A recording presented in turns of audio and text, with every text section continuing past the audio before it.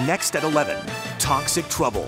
Why police suspect foul play in the mysterious deaths of two people at a South Florida apartment building. Firefighters battle a big brush fire. Tonight, an update on the flames, the road closures, and whether any homes are in danger. High tech lifeguards, when drones could help keep people from drowning off our coast. The force is strong at Comic Con.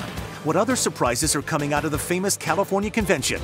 How much do you check your cell? High tech ways to kill your addiction to your smartphone. Tonight on CBS 4 News at 11.